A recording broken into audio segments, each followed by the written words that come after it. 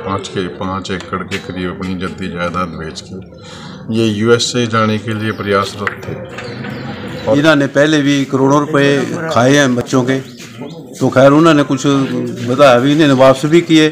शाहबाद के गाँव रावा में एक व्यक्ति ने एजेंट से तंग आकर फांसी लगाकर अपनी जीवन लीला को किया समाप्त। परिजनों ने एजेंट के खिलाफ दी शिकायत। उपमंडल शाहबाद के गाँव रावा में एक व्यक्ति संजीव ने एजेंट से तंग आकर फांसी लगाकर अपनी जीवन लीला को समाप्त कर लिया। मृतक व्यक्ति के परिजनों ने एजेंट के खिलाफ शिकायत देकर कार्रवाई करने की मांग की है। मृतक व्यक्ति के परिजनों ने जानकारी देते हुए बताया कि काफ़ी समय पहले पेवा के एजेंट बोरबी को मृतक संजीव ने 40 लाख रुपए देकर यूएसए जाने की बात तय की थी। एजेंट ने ना तो उसके रुपए लौटाए और ना ही उसको यूएसए भेजा। इस बारे में कई बार पंचायतें भी हुई और पुलिस में भी शिकायत दी गई, लेकिन कोई भी कार्रवाई नहीं हुई, जिससे संजीव मानसिक तौर पर परेशान चल रहा था। संजीव ने आज एजेंट बॉबी से तंग आकर फांसी लगाकर आत्महत्या कर ली। वहीं परिजनों ने पेवा के एजेंट बॉबी के खिलाफ शिकायत देकर कार्रवाई करने की मांग की है। सूचना पर पुलिस भी मौके पर पहुँची और शिकायत लेकर कार्रवाई का आश्वासन दिया। वो एक दो बार सामाजिक पंचायत भी हुई उनके बारे में तो अभी हमारे सामाजिक विचार उनके साथ चल ही रहे थे तो उन्होंने थोड़ा आश्वासन दिया था तो आज तक कोई रेफरेंस नहीं मिला उसके बारे में। इस प्रकार से युवकों को बाहर भेजने के नाम पर जो है ये तो चल ही रहा है। पहले भी उसके हम पेवे में गए थे। तो वहाँ भी बात चली। वीना ने पहले भी करोड़ों रुपए खाए हैं बच्चों के। तो खैर उन्होंने कुछ बताया भी इन्होंने वापस भी किए। बाकी हमारा तो कोई उसने किया मांग करेंगे प्रशासन से ऐसे लोगों के मांग तो हमारी इसके मुखालफत बॉबी के जो एजेंट है पेवे का उसके मुकाबले तीन सौ दो का मुकदमा दर्ज होना चाहिए। एजेंट का क्या नाम है? बॉबी है। वो भी है। और जो ये मृत युवक है उसका क्या नाम है? हैं जी। जो संजीव। संजीव शर्मा जी। मैं अपनी जद्दी जायदाद बेच के पाँच के पाँच एकड़ के करीब अपनी जद्दी जायदाद बेच के ये यूएसए जाने के लिए प्रयासरत थे। और इन्होंने अपने करीब चालीस लाख रुपए उस एजेंट को दे दिए थे जिसका बॉबी नाम है पेवा से पेवा का रेजिडेंट है। तो हमने सामाजिक, इन्होंने पहले टेलीफोनिकली प्रयास किए, फिर सामाजिक प्रयास भी किए। एसपी साहब को भी कंप्लेंट दी, उन्होंने इकोनॉमिक सेल में दी।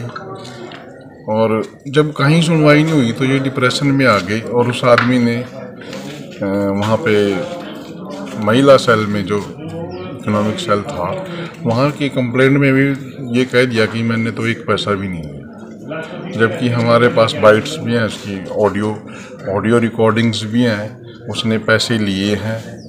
हमारे पास जहाँ उसने, जहाँ उसको पैसे दिए हैं, वहाँ उसके भी हैं। लेकिन हमारी प्रशासन की ओर से और कहीं से जब कोई मदद नहीं मिली तो इन्होंने पहले भी फेसबुक पे डाला था कि जब मेरी, मेरे को कहीं से कोई मदद ही नहीं मिल रही, मेरे सामाजिक प्रयास भी सारे विफल हैं और मैं लीगली भी मैंने देख लिया है तो ये डिप्रेशन में थे इन्होंने।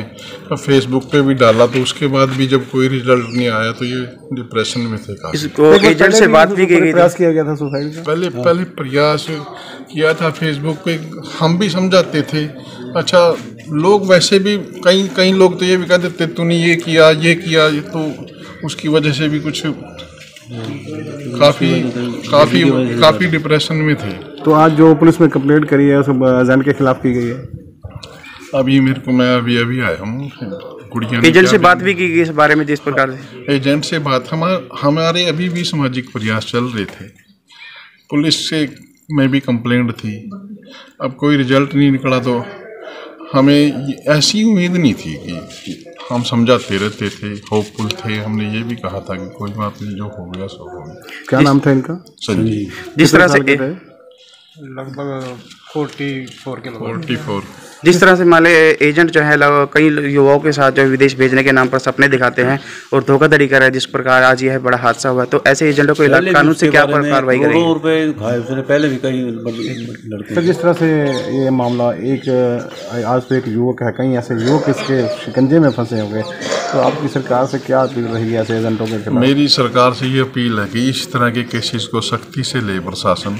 और उनमें अपने निजी इंटरफेरेंस से ये पैसे वापस दिलवाए जाएँ और इनके खिलाफ सख्त कानून बने। अब ये जो है ना ये अमूमन होते रहते हैं ये केस। जो। जो भी कैंडिडेट जो भी चाह चाहने वाले जाते हैं वो दो नंबर में ही जाते हैं मोस्टली और उनका कोई भी लीगल प्रूफ नहीं होता उनके पास क्योंकि दो नंबर में तो वो पैसे एक नंबर ट्रांजैक्शन तो लो- लेंगे नहीं वो। डिजिटल ट्रांजैक्शन तो लेते नहीं वो। अब वो एसपी ऑफ़िस में भी यही बयान थे उसके मेरे पास दिखाओ मेरे पास कहाँ है पैसे? भाई पैसे तो तब दिखाएँगे ना जब तूने एक नंबर में लिए नंबर में लिए उसने डिमांड ये की थी कि मेरे को पैसे जो है ना वो एक हार्ड कैश मिलना चाहिए। तो आज आज बहुत बड़ा हादसा हुआ है तो जो कंप्लेंट है एफ़ आई आर पुलिस आ चुकी है तो उस एजेंट के खिलाफ ही कार्रवाई होगी। हम तो यही जानते हैं कि उसके उसके खिलाफ तीन सौ दो का मुकदमा दर्ज हो। उसी की वजह से बेसिकली तो उसी की वजह से आत्महत्या हुई है। ठीक। जैसे ही पुलिस को डायल 112 को गाँव रावा से सुसाइड के बारे में प्राप्त होने पर S H O Devendra Kumar व टीम पूरी टीम मौके पर आ गई और डेड बॉडी जो है ना इन्होंने पहले नीचे उतारी हुई थी और एफ़ टीम को आने बारे सूचित किया है वो भी आ रहे हैं। जी। उसके बाद जो इसमें एक सौ चौहत्तर सी आर पी सी की जो कार्रवाई है वो अभी जारी है। उसके उपरांत जैसे भी आगे कार्रवाई में कोई चीज़ सामने आई उसके आधार पर शिकायत क्या दी है? क्या शिकायत दी है? नियमानुसार किस- कार्रवाई किसके खिलाफ शिकायत दी अभी कोई बॉबी पेवा है एजेंट उनसे इन्होंने कोई पैसे लेने थे। उसके बारे में पहले भी दरखास्तें वगैरह द्वारा प्रशासन को दी हुई हैं जिसके बारे में जाँच भी चली हुई है। सर जिस प्रकार से चंगुल में ऐसे युवक जो फंसते जा रहे हैं ऐसे लोगों के खिलाफ क्या कार्रवाई की जाएगी? उनके खिलाफ पुलिस प्रशासन नियम अनुसार सख्त से सख्त कार्रवाई हालाँकि पहले भी पंचायतें हो चुकी हैं ये इस युवक ने पहले भी सुसाइड का प्रयास किया है। वो तो एसपी ऑफ़िस में कंप्लेन जैसे भी कंप्लेंट जिस भी अधिकारी के पास गई है उन्होंने अपने हिसाब से कार्रवाई करनी है उसमें।